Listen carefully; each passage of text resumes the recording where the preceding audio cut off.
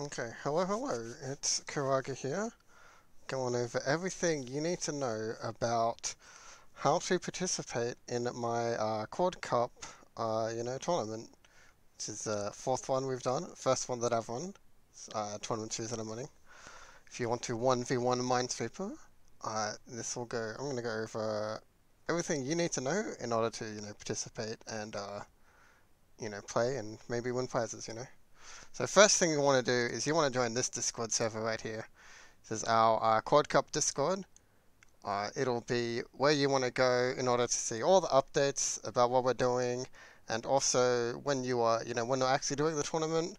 If you have any questions or like technical issues, it's uh, where you want to contact us, and it's also where you organize your matches, to find like who you're playing against, and you know, organize with them to you know set up lobbies and stuff and find them. So. Step one is you need a Discord account and you need to join at the Chord Cup server. Step number two is you want to have an account on this site called uh, mnsw.pro. Uh, uh, that is the URL. I'm going to have links to all of these in the description. So on this site is where you're actually going to be playing your matches.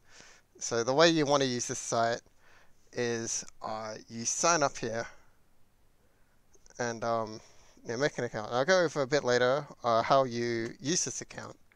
But first thing you want to do is make sure you have a profile on this before signing up. Because we don't want to, because when you create games, you're going to be playing against, um, you're going to see like the names of the people in lobby, and we don't want to have a bunch of, uh, you know, anonymous versus anonymous. So while you can create games uh, without making an account, uh, we want everyone to have an account because we don't want any games to be like, you know, anon versus anon, and we don't know who's playing. So, uh, you know, next step is make sure you have an MNS Pro account. And then after that, I recommend having a Minesweeper.online account. Uh, this doesn't have anything to do with the tournament itself, but it is related to the prizes. So um, if you have an account on here, it helps because it means you can get uh, extra mine coins, which are basically the currency that uh, the site uses, which is pretty nice if you want to win some extra things. There are cash prizes as well as the mine coins that are on the site. So mine coins are just, you know, the, uh, you know, the currency the site uses. Use them to buy stuff and things. You know, you could buy some garnets or just whatever you want really. But yeah, so make this an account on the site. If you don't have an account on the site, uh, we can instead uh, either, you know, have someone uh, specify that you want to take in your place. So if your friend has a Minesweeper Online account and you give your prizes to them if you win any, or you can just choose to forego the uh, Minecoin prizes completely and will, you know, redistribute whatever you would win among the other participants or maybe pay out, you know, to the next person or or something, kind of depends. We'll uh, figure it out.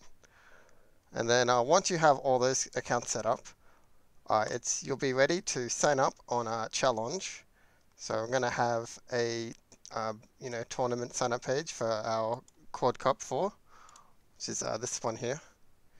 You go, you got to uh, do, there's a sign up on the page where you put in your Discord username, Minesweeper Pro username, WOM username if you want. It is required here, but if you really want to skip it, just say like, you know, that you want to skip or whatever. And if you are going to put in someone else's, then please specify that you're going to put in uh, someone else's uh, info because we are using this for uh, seeding the tournaments, and we're mainly looking at the WOM profile, which is one of the main reasons why we have the Minesweeper.online profile. Because for most people, we're just going to use, uh, you know, this link or, you know, use the name, look up what your best times are, and try and uh, seed you accordingly. But if you, like, don't play on Minesweeper.online and you want to, you know, get seeding still, we have the option of using uh, other profile sites, such as, you know, minesweepergame.com, or your Cell profile, or you could even use other ones. For example, if you have like a YouTube channel that has like some PBs uploaded, you could like link to one of those, or use uh, speedrun.com leaderboards. You could link to your profile there and be like, hey, like this is me on speedrun.com, and like I have a like Google Minesweeper, for example. If you have uh, one like those, we can use those to help seed you. And yeah, so it's basically um, you know, just uh, whatever you want, but you know you don't have to have any of those. If you have absolutely no like evidence of any Minesweeper score, then you're probably going to be seeded towards the bottom which you probably don't want to be because, as you can see, being seeded, as you'll be able to see a bit later, being seeded higher, it's going to be a bit of an advantage. But yeah, so, you know, once you've got all these, you can sign up and you'll be part of the uh, the bracket, which is pretty nice. And then once you are signed up, you're going to be up in this uh, bracket here. And basically, how it works is if we go to this, it's going to be a double elimination bracket. So it's going to be, uh, you're going to play, uh, you know, several rounds, and we're going to get to a finals. And you have uh, basically two chances to get through. And it is a little bit complicated, but you be will be able to see if you go to the bracket uh, page. So I would recommend keeping this page open to see like who's playing against who, and like who you're going to play against next potentially. And these are currently this is what the bracket currently looks like, but it's gonna you know change up uh, once we have more people uh, signed up. So this is not really final, but this is what it currently looks like. So we have you know the first round of winners, and then a second round, and then a losers bracket. So basically, the winners bracket is pretty much like a single elimination up until we get to the semi semifinals here, or the winners finals, as it's sometimes called. And so first of all, we're going to have you know round one, and then some people already start in round two, who basically get buys, and the buys are determined by your seeding. So you know currently Dart Hong, Gadget Lad, Llama are like the top seeded players and because we don't have a power of two number of players right now, so right now, currently we have, as of the recording of this video, we have 12 players, and we need 16 to get like a fully balanced bracket. So we have four people currently who are getting buys. So these people skip ahead to the, you know, the first round, and then you have, you know, the, you know, the pre, the first round. These people skip ahead to the second round, and then the first round we have, you know, some people playing. And if you want to know like who you're playing and who you might be playing next, uh, you can see here like where people go. So you have, you know, Geki versus J-Hot. If, for example, uh, Geki wins, they will move up here. You follow the arrow. And then the player who loses goes into the losers bracket if you're in winners. If you're in losers and you lose, and you get eliminated completely. So let's say Geki beats J-Hot. You go, okay, well, if you're J-Hot, and you go, okay, I'm going to go see what I play. And you look down here, and you look for loser of fourth because you look on the left here, and that is the round that's played. We're like, okay, I'm going to be playing in a match, you know, number 9. So you'll be loser 4 versus loser 5. So if Jay Hart wants to know who he's playing against, he'll look up here and find number 5, which is going to be Dart Hong versus whoever wins between uh, Rosebows and Devil Zoa. So for example, if uh, Devil Zoa wins this one, Rosebows goes down to losers, and then Devil Zoa progresses on to fight Dart Hong, and then after Dart Hong and Devil fight, uh, Devil Zoa will get down to lo uh, losers if, for example, Dart Hong wins, and they'll because this is five, they'll go down into this one as well, and then we'll get J Hort versus Devil Zoa. So you know, it's a little bit complicated, but you know, if you're lost, just like, you know, read uh, who's playing who, and you'll figure it out from there. Generally, the losers bracket is going to take like twice as long as the winners bracket, because for every, like, you know, losers round, there's going to be a couple, for every winners round, there's going to be a couple losers round. So if, you know, one, two, three, four winners rounds, and then we have, you know, one, two, three, you know, four losers round, and then a fifth losers round. It, you know, it takes a little bit longer for the losers to go through. So if you're, like, if you're winning you might have a bit of a break between your matches because you have to wait for the losers rounds to play out. But it's kind of an advantage because you get more of a break between games and you don't have to win quite as many when you're going through winners compared to losers. So, you know, we'll complete like this. And then once we get to the end, uh, we'll have one person who got to the losers bracket but then beat everyone else who got to losers, which would be every other player except for whoever wins in uh, winners. So you'll have, you know, all the winners. Let's say Dart Hong and Orc continue on and they fight. Say Hong wins here, and then you have Gadget and Llama fight. Let's say Llama wins here. We have Hong versus Llama in the semifinals. Whoever wins out of those will move on to the finals. And then the you know the loser of between whoever is ends up here, say, you know, Llama and Gadget or whatever, they'll move down into the uh, losers final against whoever won out of the losers bracket out of all these rounds, the losers final and the finals. And then eventually we'll have the losers finals, and then this is the uh, important bit, is whoever is in winners will fight against whoever wins the losers bracket. And the person who comes from the losers bracket will have to win uh, multiple times.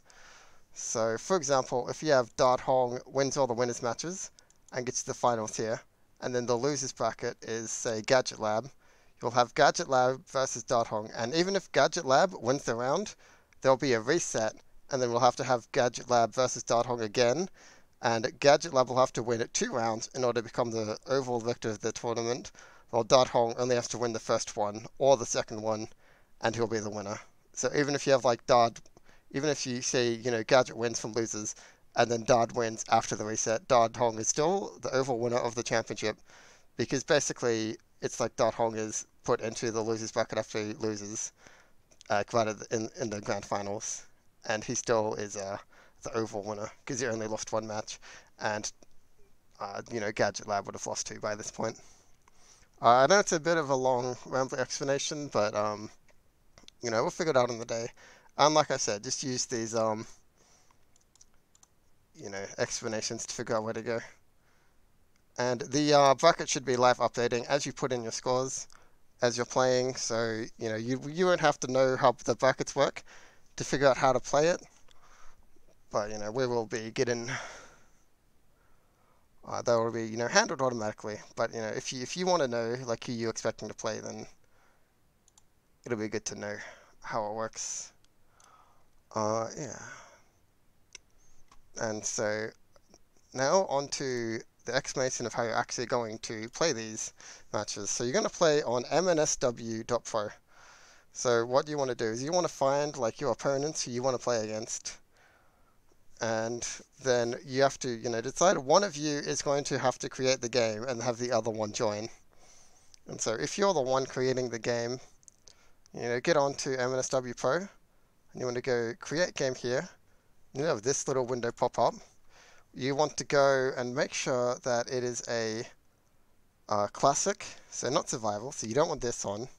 You want it off, so it's a classic game.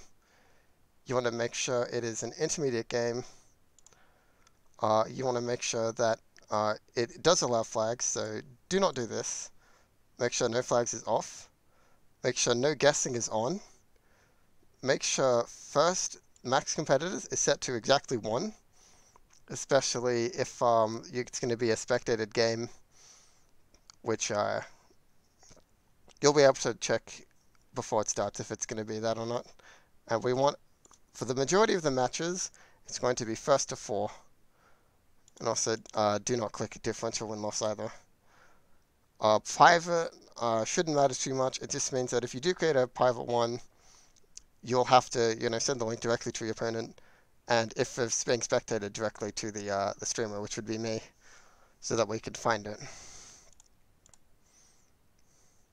But I would recommend just keeping this off, and then you can find all the games in the lobby. It's easier to find in the lobby rather than via direct link.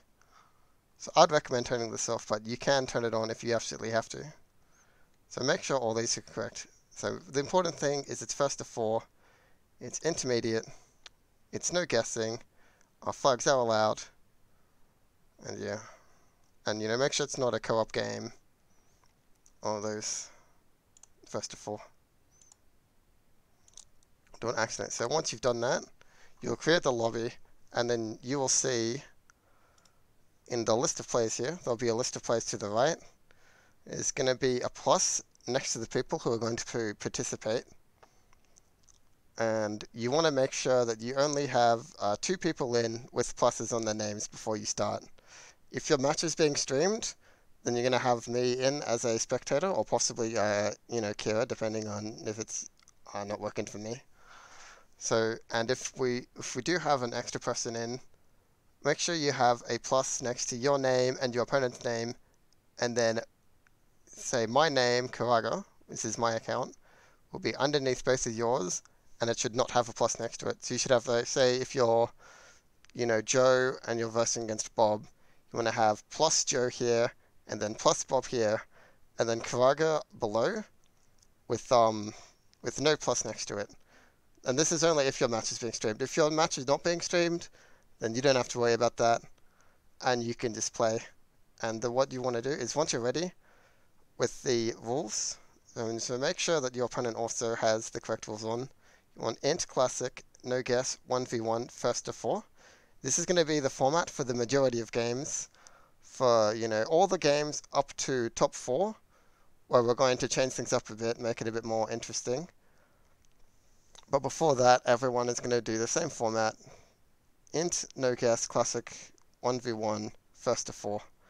And once you have that, you click on start. So here we can't start yet because there's no competitors yet. But if you have your competitor, it should be able to start. You'll have a countdown go down. Uh, you can also make sure that you have options on that you prefer. So for example, if you like having left chord because you're used to World of Minesweeper or other sites that allow it, you can turn that on. You can increase the board size if you want to make sure that uh, you know you can see play on a comfortable size. I definitely recommend uh, playing around with these and playing around with the lobby and stuff like that before you start the actual tournament, so everything is, you know, arranged well for you. Uh, you can also change your skin to a Garfield skin. I don't recommend this, but uh, it is an option. It does make the game a bit harder to play in my opinion, but it only affects you, so there's no, uh, you know, penalty for doing it just know that if you have a Garfield skin on, you're going to see Garfield skin, and your opponent is not going to see Garfield skin. And uh, I think it's definitely easier to play with the default Windows XP skin. But hey, that's just me. You can also add a background image uh, if you want. Doesn't matter too much. And then custom board positions, stuff like that. So, you know, increasing the board size probably pretty useful. Just make sure you don't make it too big, or else you won't be able to see your opponent's games. And yeah. Uh, if you have any questions about any of this stuff, uh, feel free to ask in the Discord. By the way, that is the, that is the place to go for all your questions to be answered. Uh, yeah. So finally, I'm gonna go over prizes a bit. We have quite a few prizes thanks to some uh, generous sponsors. Uh, most notably, uh, Razia7 donating 150 US dollars for the bulk of these mine coins, uh, for the bulk of the cash money, US dollars. So first place gets $75 and you get 200,000 and four mine coins. And then second place gets mine coins in cash. Third, fourth, up to eighth all get cash prizes. And then top 16 all get mine coin prizes. So even if you're not the greatest Minesweeper player of all time, Currently, we don't even have enough people signed up to win mine coins. So if you sign up, and we're going to get too many more people, there's a pretty good chance you can at least win some mine coins.